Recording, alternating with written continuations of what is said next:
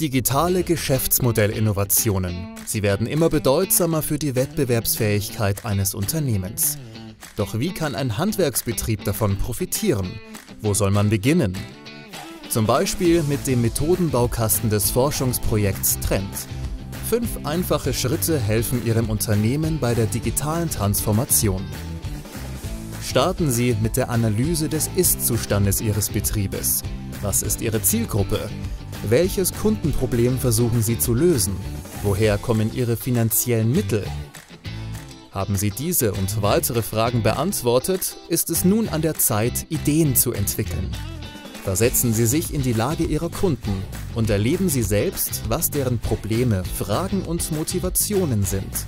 Das schafft Anreize für die Entwicklung neuer Ideen und Verbesserungsvorschläge. Wählen Sie anschließend eine Idee aus. Wie? Nutzen Sie das Ideenpotenzialkreuz, um Ideen mit hohem Geschäftspotenzial und schwerer Kopierbarkeit zu erkennen. Auf diesen Ideen sollten Sie weiter aufbauen. Jetzt wird gestaltet. Erstellen Sie ein Konzept, das Ihre neue Geschäftsidee detailliert beschreibt. Und dann ist es soweit. Setzen Sie Ihre Geschäftsmodellinnovation um. Aber machen Sie kleine Schritte.